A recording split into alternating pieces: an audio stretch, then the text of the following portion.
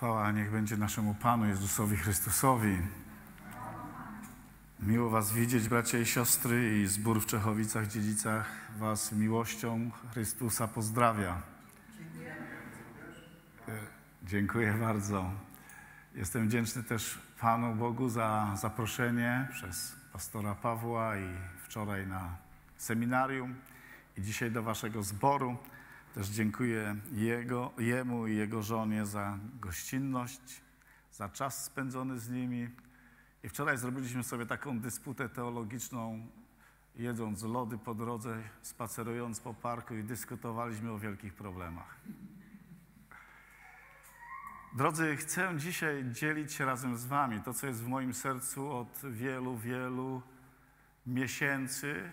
On to jest zawsze, ale jakoś Bóg kieruje moją uwagę na kwestię Kościoła, kwestię zboru, kwestię tego, jak funkcjonujemy w Kościele Jezusa Chrystusa.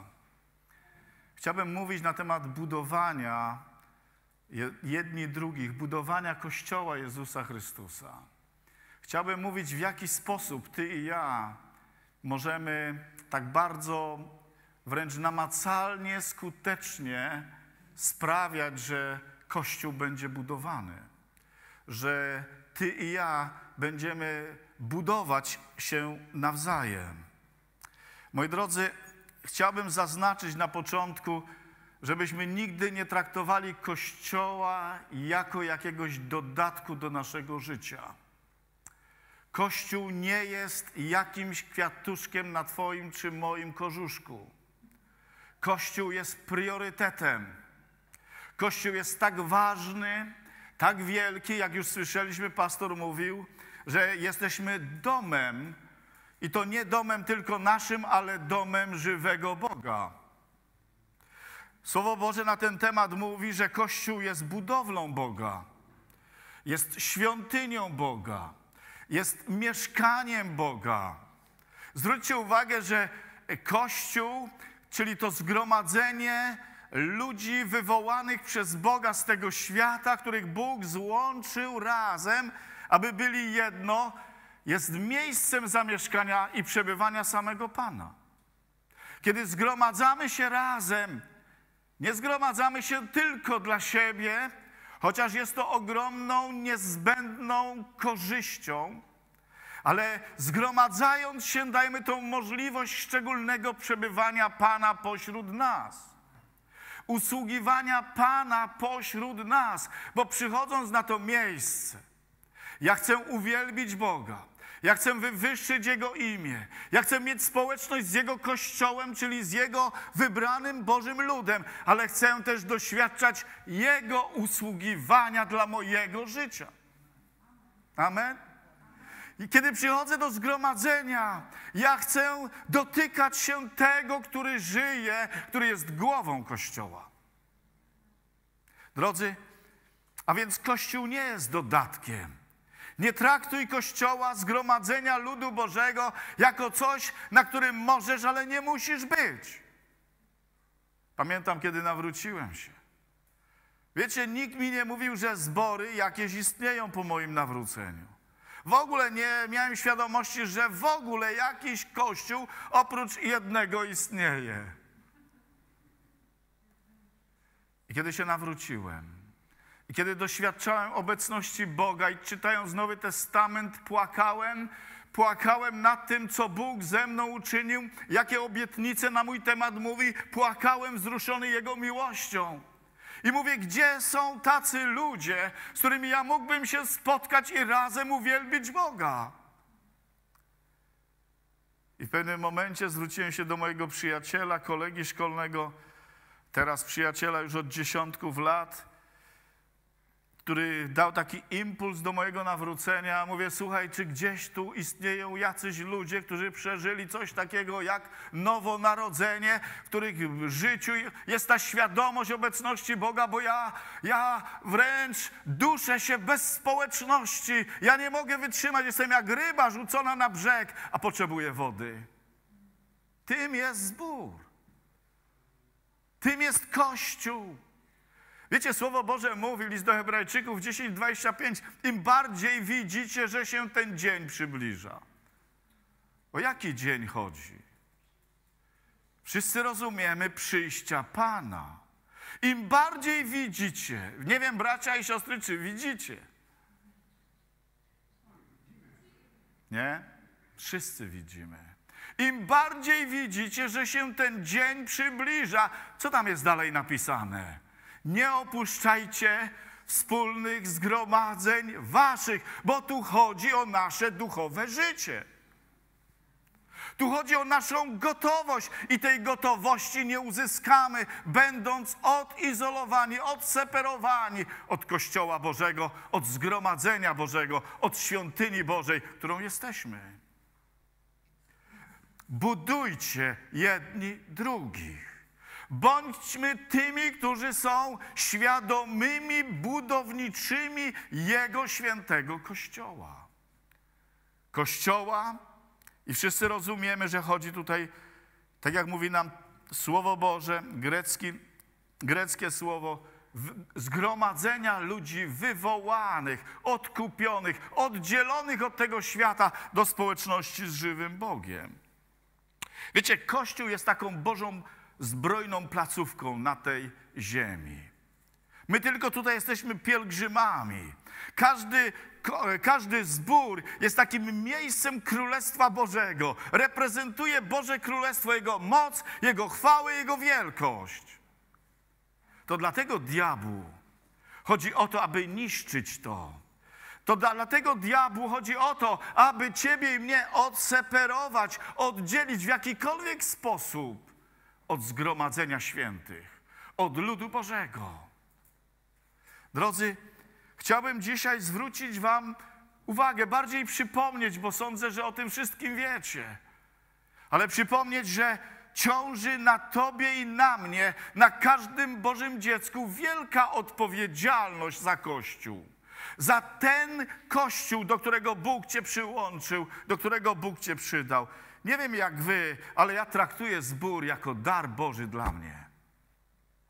Jest mi podarowany przez Boga, aby mógł być w tej Bożej rodzinie, żyć, wzrastać, budować się i służyć żywemu Bogu. To jest dar. Bycie poza, bycie gdzieś z daleka, niemożliwość uczestniczenia. Wiecie, jesteśmy gotowi poświęcić wiele, jeśli jest w nas głód i pragnienie Boga, aby być w zgromadzeniu ludu Bożego.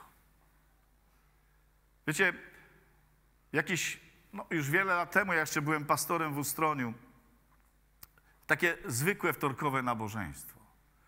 Takie nabożeństwo, gdzie część ludzi, jak, jakaś część, no bo z powodu pracy, różnych sytuacji, przyjeżdżała. I na to nabożeństwo przyszedł młody człowiek.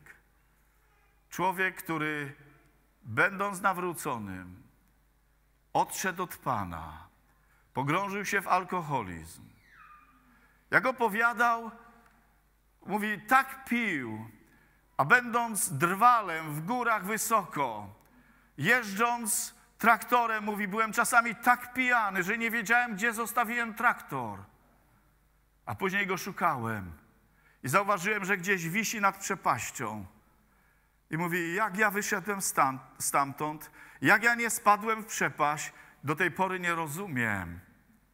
A z drugiej strony w jego sercu była tęsknota za Bogiem, za tym, co wcześniej przeżywał. I zaczął przychodzić do zboru i przyszedł na jedno takie zwykłe, wtorkowe nabożeństwo. I jeden z braci moich głosił zboże, a później zrobiłem wezwanie i on przyszedł i stanął na środku.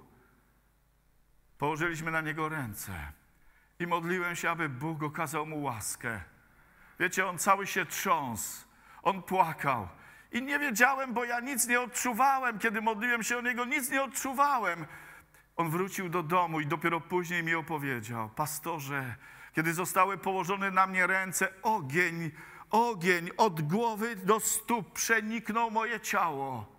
Kiedy wracałem do domu, ten ogień cały czas wypełniał moje ciało. Wróciłem do domu i ten ogień cały czas, Boży ogień czułem. W jednej chwili, w jednym momencie Bóg go uwolnił i uzdrowił. Wiecie, co on później zaczął robić? Z tej miłości do Chrystusa, z tego ognia miłości, jaki na nowo rozpalił Bóg w jego sercu. On był na każdym nabożeństwie. Wtorek, yy, był w niedzielę i później przychodzi do mnie i pastorze, czemu tak krótko są nabożeństwa? A myśmy mieli dwie godziny. Pastorze, czemu nie mamy codziennie nabożeństw? Rozumiecie, drodzy? To jest to pragnienie. Kiedy jest w nas miłość Boża, ona pali się w nas, to my chcemy koniecznie być tam, gdzie jest lud Boży, aby chwalić i wywyższać Pana. Bo wiem, że w tym miejscu, w tym zgromadzeniu będę błogosławiony przez Boga i mogę być błogosławieństwem dla innych od Pana. Myślę nad tym.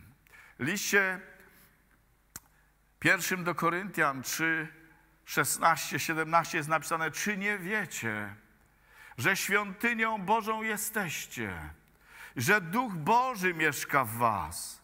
Jeśli ktoś niszczy świątynię Bożą, tego zniszczy Bóg, albowiem świątynia Boża jest święta, a wy nią jesteście. I wiele takich miejsc, ale w liście Piotra, pierwszym liście Piotra, chciałbym przeczytać także z drugiego rozdziału, piąty wiersz. I wy sami, jako kamienie żywe, budujcie się w dom duchowy, kapłaństwo święte, aby składać duchowe ofiary przyjemne Bogu przez Jezusa Chrystusa. Zwróćcie uwagę, jako żywe kamienie nie bądźcie bierni, nie bądźcie bezczynni, budujcie się w dom Boży, dom święty. Jeszcze jedno miejsce z listu do Efezjan z czwartego rozdziału, wiersz 12 i 16 aby przygotować świętych do dzieła posługiwania, do budowania ciała Chrystusowego. A wiersz 16 mówi tak, z którego, czyli z Chrystusa, całe ciało spojone i związane przez wszystkie wzajemnie zasilające się stawy, według zgodnego z przeznaczeniem działania każdego poszczególnego członka rośnie i buduje siebie samo w miłości. Wiecie, to słowo budować, to, że ciało Pana, że członkowie Kościoła Jezusa Chrystusa mają budować Kościół, jest wielokrotnie w wielu miejscach Bożego Słowa zaznaczone. To budowanie Kościoła rozpoczyna się od tego, który jest jego założycielem, tego, do którego Kościół należy, który tego Kościoła jest głową i pełnią od Jezusa Chrystusa. W Ewangelii Mateusza w 16 rozdziale Jezus wyraźnie powiedział: Ja zbuduję mój Kościół. Ja zbuduję mój Kościół. A bramy Hadesu nie przemogą go czyli bramy krainy umarłych, bramy śmierci. A więc śmierć nie jest w stanie wedrzeć się i zniszczyć mojego kościoła, który ja buduję. Jeżeli Jezus, głowa kościoła, jest tym pierwszym budowniczym, a On zaprasza Ciebie i mnie, abyśmy razem z Nim pomogli budować Mu Kościół, to jest coś niesamowitego wielkiego i wielkie wyróżnienie. Jak on myśli o Kościele? Jak Jezus traktuje Kościół, nas, Ciebie i mnie, to swoje zgromadzenie. W liście do Efezjan w piątym rozdziale jest powiedziane, że On umiłował Kościół i wydał samego siebie za nas. Inaczej mówiąc, On umiłował nas aż na śmierć. Czy miłujesz zbór aż na śmierć? Czy jesteś gotów oddać życie za swój zbór?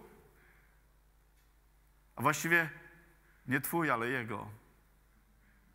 Należy do niego.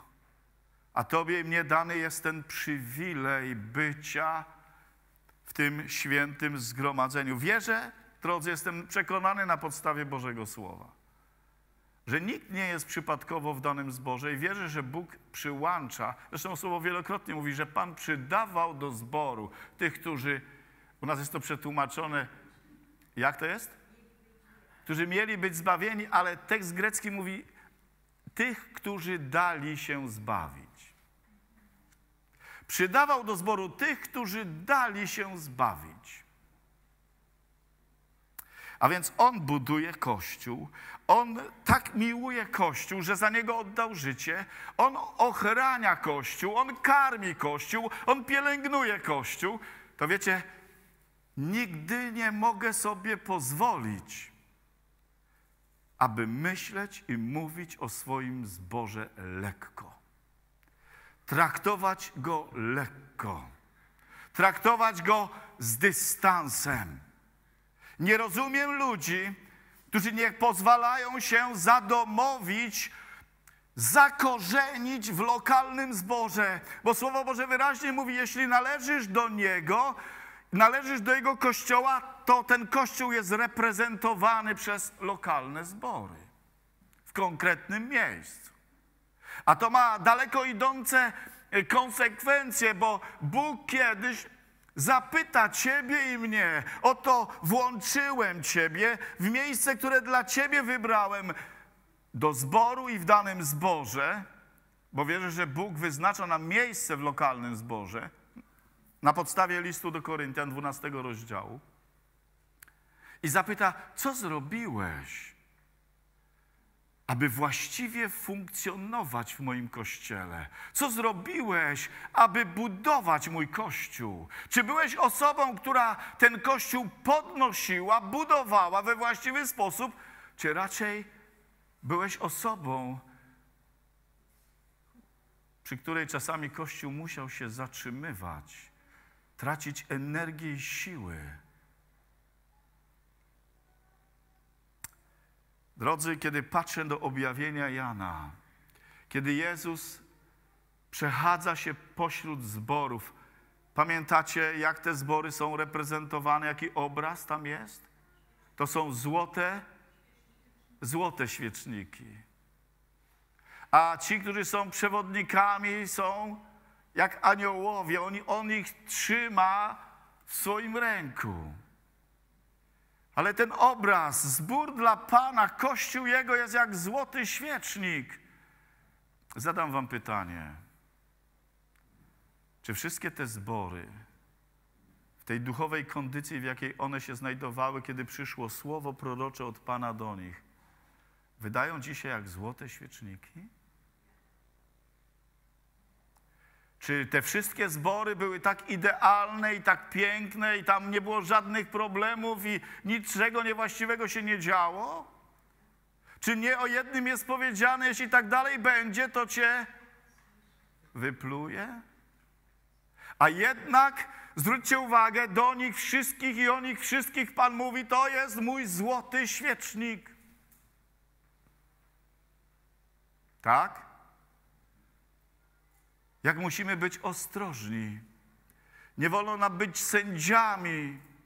To należy do Pana, ale ja mam odpowiedzialność taką, którą Bóg złożył na mnie, abym robił wszystko, aby Kościół Jezusa Chrystusa lśnił Jego blaskiem.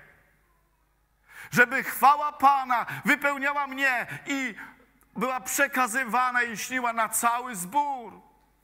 Tak jest tu napisane w liście do Efezjan 4,16 gdzie każdy z nas jest połączony z głową, aby przekazywać życie, które bierzesz, czerpiesz bezpośrednio, jak czytała siostra z krzewu winnego, dla innych latorośli. Jak wielka odpowiedzialność, jak wielkie wyróżnienie. On buduje swój kościół.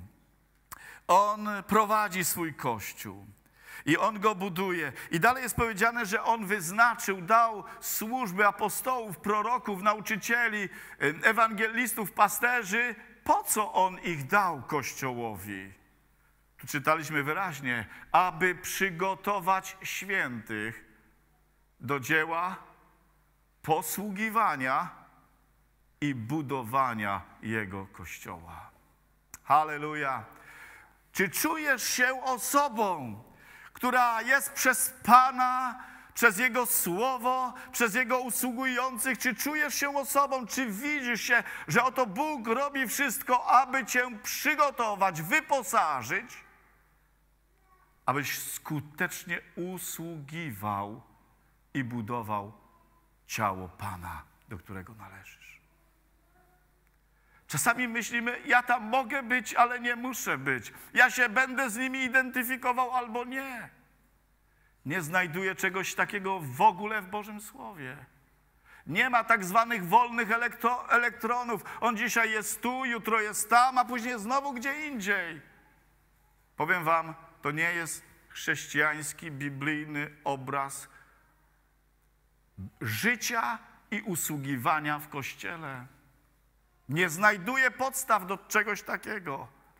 No bo jeżeli Kościół jest budowlą, to wiecie, siłą rzeczy, e, jako kamień żywy, bo byłem duchowo martwy, ale Jezus wziął mnie w swoje ręce. Dla Greków właśnie kwestia tego, że kamień, który był bezużyteczny, został wzięty przez budowniczego i użyty, stawał się w tym momencie żywym kamieniem. Oto Jezus wziął ciebie i mnie, gdzieś tam leżeliśmy bezużyteczni, w swoje ręce, zbawił nas i włączył nas w swój kościół. A obok nas dał inne kamienie i na nas położył inne kamienie. Gdzie tu się ruszyć? Nie mogę traktować siebie na zasadzie bardzo luźnej. Jestem odpowiedzialny, bo Pan włożył mnie w to miejsce i teraz ja muszę dźwigać, muszę być obok. Jest, tam jest napisane, że jesteśmy z sobą ściśle zespoleni. Że nawet noża, ostrza noża nie można włożyć między kamienie. To jest wielka odpowiedzialność. Róbmy wszystko, aby diabłu nie udało się włożyć nawet ostrza, aby zacząć dzielić, rozdzielać te kamienie, którym jesteśmy jako świątynia Pana. A obraz ciała, czyż nie mówi o nierozerwalnej jedności, połączeniu jedni z drugimi? Co by było, gdyby dzisiaj Twoja ręka powiedziała: Ja dzisiaj nie jestem z Tobą, jadę gdzieś indziej? Nie wiem, jak byś się czuł. Albo dwie ręce. To jest może taki ale tak to Słowo Boże nam przedstawia. A więc oni, Jezus buduje Kościół, Jego, tych, których powołał, oni budują Kościół i przygotowują Ciebie i mnie do służby i do budowania. I na trzecim miejscu jest całe zgromadzenie, każdy z nas indywidualnie uczestniczymy. W każdym razie mamy uczestniczyć w budowaniu Kościoła. Wy jako kamienie żywe budujcie się. To słowo e, budować, oikodomeo, ono, ono właśnie oznacza takie budowanie, e, podnoszenie, e, powiększanie. W tym kierunku idzie to słowo, aby pokazywać, jak ono jest ważne. No bo jeżeli coś budujesz, to coś rośnie. Mamy budować. W liście do Tesaloniczan, w piątym rozdziale pierwszego listu do Tesaloniczan, w jedenastym wierszu jest napisane: Dlatego napominajcie się nawzajem i budujcie jeden drugiego, co też czynicie. Ale to słowo napominajcie tutaj troszeczkę nie chodzi tutaj do końca o takie napominanie, jak w następnym wierszu, gdzie przywódcy napominają, czy też mamy siebie nawzajem zwracać sobie w miłości, w Bożej życzliwości uwagę, jeżeli coś widzimy, że jest nie tak. Tutaj ten, w tym fragmencie napominajcie i budujcie, w tym jedenastym wierszu, tam jest słowo parakaleo. Zachęcajcie. Zachęcajcie. Słowo parakaleo jest niezwykle pięknym słowem, w wielu miejscach też użytym, podobnie jak oikodomeo, mm, budować, podnosić, ulepszać. Tak, to słowo jest, jest bardzo, bardzo ważne, to słowo parakaleo. Ono oznacza po prostu wzywać, zapraszać, pobudzać, prosić, błagać, pocieszać, dodawać otuchy, a więc dodawajcie sobie otuchy, błagajcie i tak dalej i budujcie się nawzajem. Kiedyś jeden z pastorów powiedział coś takiego, zinterpretował, przedstawił, że to słowo parakaleo jest takim wezwaniem, wiecie, jak dwa wojska stają naprzeciwko siebie w starożytności, dwie armie, to przed jedną, drugą wyjeżdżał wódz, dowódca, który prowadził ich do boju na koniu i z szablą w ręku, dawał słowa otuchy i zachęty i wzywał, nabierzcie odwagi, oto pokonamy wroga, zwyciężymy. I taka otucha wstępowała w armię. Może niektórzy się trzęśli, ale i nagle nabierali odwagi i taki wielki okrzyk, tak, i ruszyli do walki. To jest to słowo parakaleo. Dodawać odwagi, zachęcać, aby budować Kościół. To znaczy, że ty i ja powinienem doświadczać od mojego brata i siostry tego rodzaju siły duchowej takiego wsparcia, bo mam budować Kościół Pana. Mam budować moich braci i siostry, którzy są w zborze. Posłuchajcie takiego, ktoś powie takie, no właściwie gdzie tu jakaś wielka teologia, gdzie tu coś wielkiego? Od po prostu Paweł pisze takie słowa w pierwszym liście do Koryntian 16, 17, 18. A cieszę się z przybycia Stefana, Fortunata i Achaika Podnieśli bowiem na duchu mnie i was. Cieszę się z przybycia Stefana, Fortunata i Achajka. Wyobraźcie sobie, macie namaszczonego, chyba największego apostoła, napełnionego Duchem Świętym, pełnego darów i on potrzebuje być podniesiony na duchu. I on potrzebuje braci, którzy już sam ich widok, już samo ich przybycie podniosło go na duchu. O, dzięki Bogu nie jestem sam. Są wokół mnie bracia, oni stoją przy mnie. Wiecie, jak to jest niesamowicie ważny gest, podanie ręki, uśmiech, wysłany SMS. Czasami prosty gest i proste słowa. Czy nie, nie złapaliście się na takich sytuacjach? Przychodzisz do zboru, witasz się z kimś a on jakby cię nie zauważa. Jest zajęty czymś innym. Czy nie uderza to gdzieś w nas? Mówimy, co się dzieje? Może ma coś przeciwko mnie? Co takiego zrobiłem? Albo on jest bardzo niegrzeczny. I zaczyna się cała burza w naszym umyśle i zaczynamy, zamiast się cieszyć, zamiast radować, no wszyscy czekamy na coś przyjemnego z drugiej strony. Kiedy Paweł był w więzieniu, Wiecie, zrobiłem sobie studium drugiego listu do Tymoteusza i tak go przeprowadzałem razem ze zborem. Pierwszy rozdział, wiersz 16 drugiego Tymoteusza. Wiecie, że Paweł jest w więzieniu, wie, że to jest jego koniec. Wyrok będzie kara śmierci. Mówi, wszyscy mnie opuścili, ale wspomina jednego człowieka. Ten człowiek nazywa się Onezyfor. Nie wiem, czy byście komuś nadali swojemu dziecku imię Onezyfor, ale jest ono ciekawe i sprawdziłem, co ono oznacza. So, imię Onezyfor oznacza przynoszący pożytek. Popatrzcie, co Paweł o nim mówi, tak. Bo wokół niego byli źli ludzie, którzy mu szkodzili, on ich wspomina wyżej, a teraz mówi, niech Pan okaże miłosierdzie domowi Onezyfora, bo mnie często pokrzepiał a więzów moich się nie wstydził.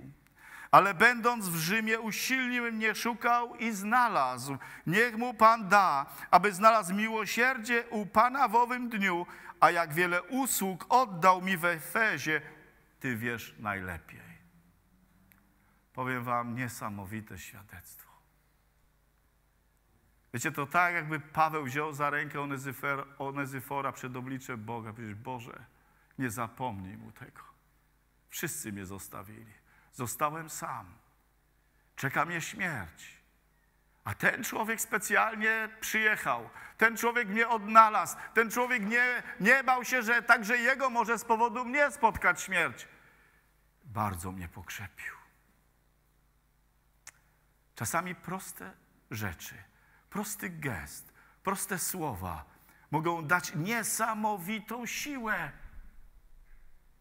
Pamiętam jedno nabożeństwo w Anglii, skończyłem usługiwanie.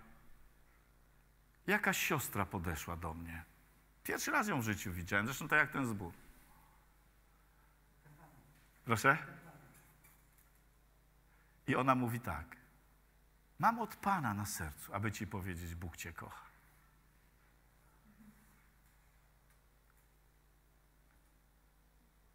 Proste słowa. Wszyscy o tym właściwie wiemy, nie? Ale czasami potrzebujemy usłyszeć. I to mnie niesamowicie podniosło w moim duchu. Niesamowicie zbudowało. Akurat potrzebowałem takiego słowa. A ona, będąc częścią ciała, nie pozwoliła zagłuszyć w sobie tego, co Bóg sprawiał w jej sercu i po prostu podeszła i przekazała to. Ktoś powiedział, no to jest tak oczywiste. No tak, rzeczy oczywiste czasami są bardzo trudne. Budujcie jedni drugich. Zachęcajcie jedni drugich. Podnoście na duchu jedni drugich. Pamiętam sytuację, pewne wydarzenie, nie będę wam o nim mówił, tak bardzo tragiczne. Płakaliśmy wraz z żoną. Nie wiedzieliśmy, co z sobą zrobić. Nie było słów pocieszenia.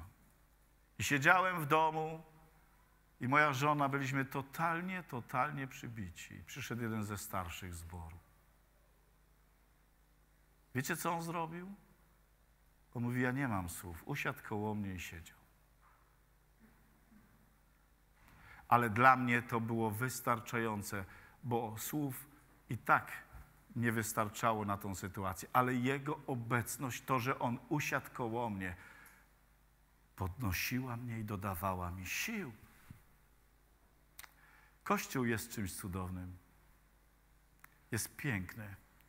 Jesteśmy tak różni, tak różnorodni ale Bóg chce Ciebie i mnie używać. I tam jest napisane, że przez wszystkie członki ciała, abyśmy budowali się nawzajem.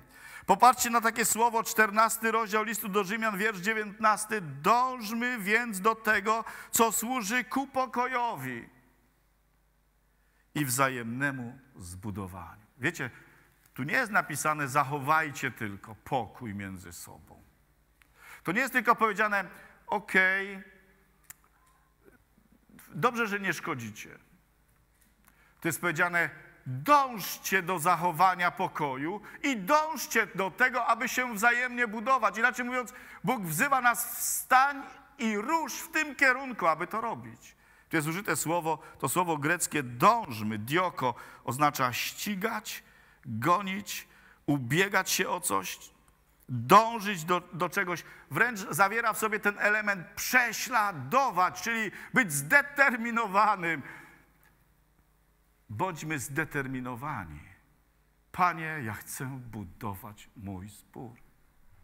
Panie, oto jestem. Może jestem słaby, może niewiele potrafię, ale wiem, że przez łaskę Twoją jestem Twoim dzieckiem, jestem włożony w tą budowlę jako kamień żywy. Panie, użyj mnie. Pozwól mi budować Kościół. A więc pierwszą rzeczą będziesz go budował, dążąc, aby pokój Pana wypełniał zgromadzenie. Aby nie było niepotrzebnych jakichś nieporozumień, żeby nie było tak, że ktoś będzie osądzał kogoś za coś, co w ogóle nie jest istotne, co nie jest związane z grzechem. To tylko dlatego, że ty uważasz inaczej. Dąż do pokoju. Dąż do tego, aby Kościół był budowany. Drodzy, Kościół jest budowany nie tylko przez zachowywanie i tworzenie atmosfery pokoju, czy nie dawanie powodów do jakichś niepotrzebnych podejrzeń, ale jest budowany przez słowo Pana, które Ty i ja otrzymujemy od Pana. Tak jak ta siostra. Tak jak Ty czytając Słowo Boże, ono Cię dotyka. I Ty jesteś wypełniony Słowem. Po co Bóg dał nam słowo, aby nas budować, ale też abyśmy to, co odbieramy od Pana, mogli tym żyć i przekazywać innym. To jest wzajemne budowanie. Będziesz mógł pouczyć drugiego brata i siostrę. Pomóc temu, który dopiero stawia pierwsze kroki w Panu, bo znasz słowo Pana, aby jemu usłużyć. Abyśmy budowali na tym fundamencie Chrystusa w życiu innych ludzi, nie słomą i sianem ale najcenniejszymi rzeczami, złotem, srebrem i drogimi kamieniami, którymi ja jestem przekonany, jest Słowo Pana, które Ty i ja odkryliśmy dla siebie, zrozumieliśmy tą prawdę i teraz możemy tym diamentem dzielić się z innymi. Budować jedni drugich. Dlatego jest napisane Słowo Chrystusowe niech mieszka w Was. Jak? W obfitości. Inaczej mówiąc, Wiecie, czym, czym jest napełnione moje serce i umysł, to ze mnie wychodzi. Jeżeli nie ma w moim sercu, kiedy się spotykamy i nie ma, nie ma we mnie czegoś, co przeżywam z Bogiem, to będę mówił o innych rzeczach. Ja nie mówię, że każda nasza rozmowa tak powinna wyglądać. Nie. Ale chciejcie mnie zrozumieć, oto jest słowo Pana, które ono tam jest wypełnia Ciebie i w każdej sytuacji i możliwości jesteś w stanie coś powiedzieć w różnych sytuacjach ze Słowa Bożego, aby komuś pomóc, kogoś podnieść, gdzieś zapalić światło Boże w sercu. Tu jest napisane, niech mieszka w was w obfitości, nauczajcie i napominajcie jedni drugich przez psalmy, hymny, i pieśni duchowe, wdzięcznie śpiewając Bogu w sercach waszych i wszystko, cokolwiek czynicie w słowie lub w uczynku, czyńcie w imieniu Pana Jezusa, dziękując przez Niego Bogu Ojcu.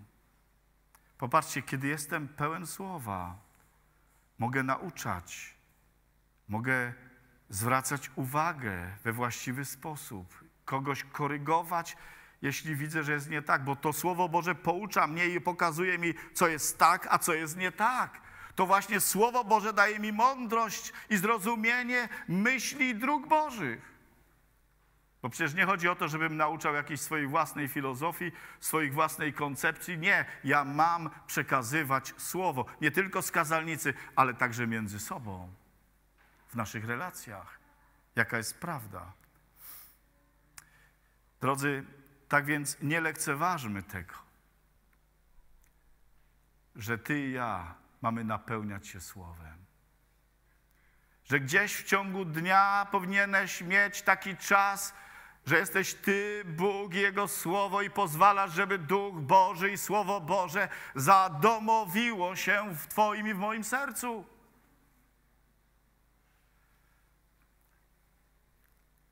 Dlatego, że czas biegnie bardzo szybko ja też muszę szybko zmierzać do końca. Jak mogę jeszcze budować Kościół?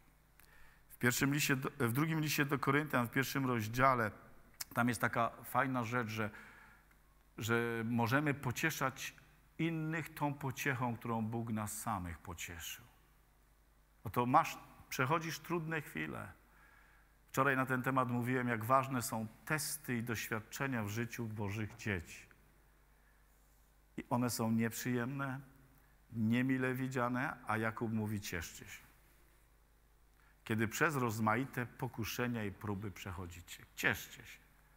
I tu nie chodzi o to, żebym był takim, że się cieszę, że sam przeżywam taki wielki ucisk, ale o to, że Bóg poprzez ten ucisk chce mnie doprowadzić do duchowego wzrostu. I kiedy Bóg doświadczam Bożego pocieszenia w trudnej sytuacji, to po to, aby kiedy spotkam brata i siostrę, którzy przechodzą przez podobną trudną sytuację, abyś mógł go sam pocieszyć tą pociechą, tym sposobem, jaki Bóg ci pokazał. Abyś go podniósł, abyś go budował, abyś go zachęcił. Tak więc poprzez zachowywanie pokoju poprzez Słowo Boże mam się napełniać, sam nim żyć i budować Kościół. poprzez pocieszenie, czyli to, co wynika z mojej bliskiej relacji, z mojego chodzenia z Bogiem, doświadczam mocy Boga w moim osobistym życiu, Jego pocieszenia i tym mogę się dzielić z innymi. Poprzez to, drodzy, że prowadzę życie, które podoba się Bogu, zgodne z Jego słowem. Drodzy, krytykanstwa jest bardzo dużo w tym świecie. Ale krytykanstwo w kościele chyba nie jest mile widziane.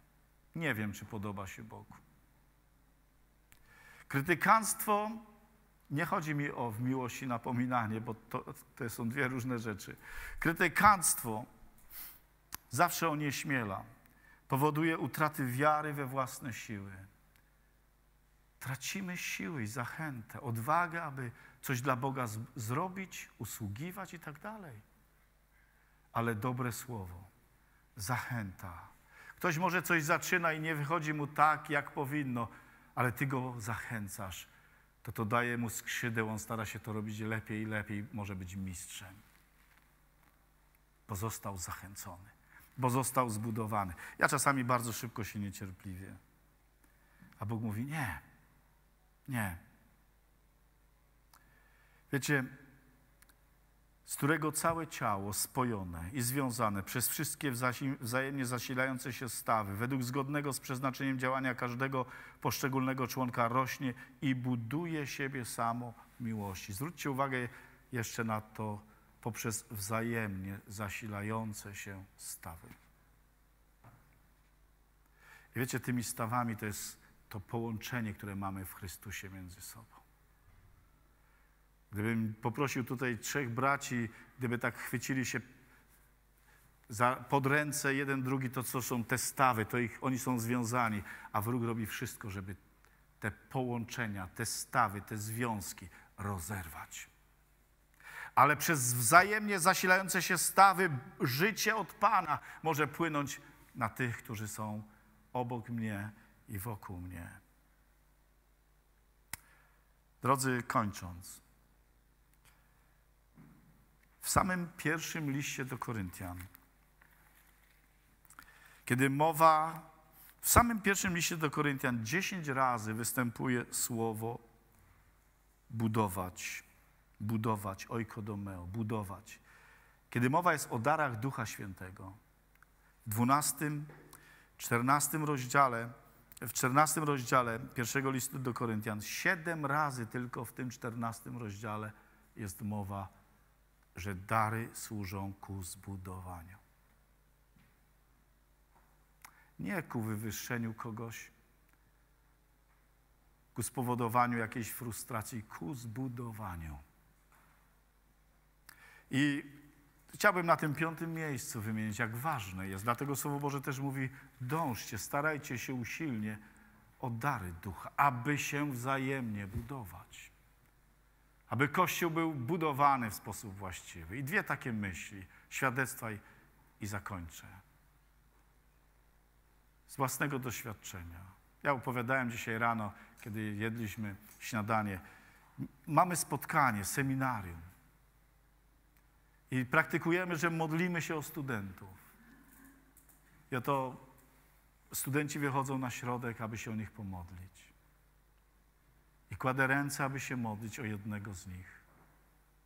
I nagle odczuwam bardzo wyraźnie, że mam mu coś przekazać. I mówię mu: To, co robisz, tego Bóg nienawidzi. I on zaczyna płakać. Wiecie, Bóg jest niesamowicie, jak to powiedzieć, fair. Nie powiedział, mi co? Nic. Bóg mówi, przekaż tylko to, to wszystko. Ja wiem resztę, ty nie musisz. On zaczął płakać. Mówi, muszę z pastorem rozmawiać. Poszliśmy do biura. I on mi opowiedział, o co chodzi. Mówi, już od roku chciałem przyjść do pastora. Ale to dar ducha, to słowo od Pana, które z wiarą mogłem mu przekazać, nie zatrzymałem, spowodowało, że on się otworzył i znalazł pomoc i ratunek. Drodzy, to jest niesamowite. jadąc na jedno z nabożeństw, modlę się w samochodzie o to zgromadzenie i usługiwanie. I tak wyraźnie, chyba pierwszy raz coś takiego mi się zdarzyło. W tym względzie. Tam jest ktoś chory, na, ma chore kolana. Chore nogi, kolana. Już teraz. I mówi, i tak wyraźnie, to, to jest mężczyzna, to nie jest kobieta. Zacząłem usługiwać, skończyłem usługę, już miałem zakończyć. Mówię, to po co Pan mi to dał? Mówię, jest tutaj ktoś, kto ma problemy z nogami. I mówię, to nie jest kobieta, chodzi o mężczyznę. I natychmiast do przodu wyskoczył pastor tego zboru, który cierpiał. I mogliśmy się modlić. Kochani, budujmy jedni drugich. Oto Kościół Jezusa Chrystusa jest ubłogosławiony we wszystko, co, co potrzebujemy, aby Boże życie, Boża moc i Boża chwała wypełniała nasze zgromadzenia i Kościół Jezusa Chrystusa. I pamiętajmy, to nie jest tylko jakaś opcja, ale Bóg oczekuje od każdego z nas, którego włączył do kościoła, abyś był świadomy, aktywny w tym kierunku, aby budować ciało Pana, do którego Bóg Cię przyłączył. Chciałbym, żebyście powstali. Czy chcesz budować ten kościół? Czy chcesz dawać to, co najlepsze dla tego zboru?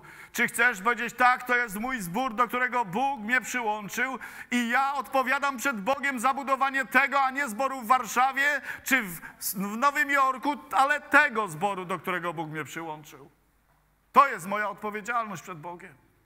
Ja to chcę dzisiaj Panu powiedzieć, że będę robił wszystko, aby ten zbór budować. Chcę prosić Go, aby dał mi swoją łaskę i miłość swoją świętą obecność, abym go budował. Drodzy, czy chcecie się razem ze mną modlić o to w taki sposób? Czy możecie dać mi znać ręką do góry, że tak, chcecie budować ten zbór w taki właśnie sposób, jak mówi Boże Słowo? Halleluja. Chciałbym, żebyśmy podnieśli nasze ręce. Chciałbym, żebyśmy zaczęli się modlić. Chciałbym, żebyś zaczął błogosławić temu zborowi, błogosławić przywódców, błogosławić pastora, błogosławić starszych braci i siostry. Możesz tam, gdzie jesteś, wymieniać imiona, mówić: Boże, ja błogosławię. Błogosławię w Twoim imieniu, bo przecież powołani zostaliśmy do błogosławieństwa, aby przynosić błogosławieństwo, a nie zniechęcenie i przekleństwo.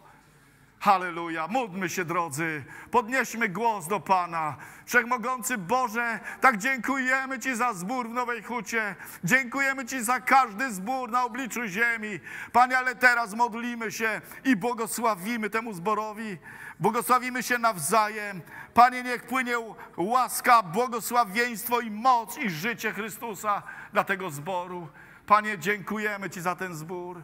Halleluja. Czy jesteś wdzięczny Bogu za swój zbór? Podziękuj Bogu, oddaj chwałę. Powiedz, Boże, dziękuję Ci za ten dar od Ciebie, którym jest ten zbór dla mnie. Chodźmy w Bożej miłości.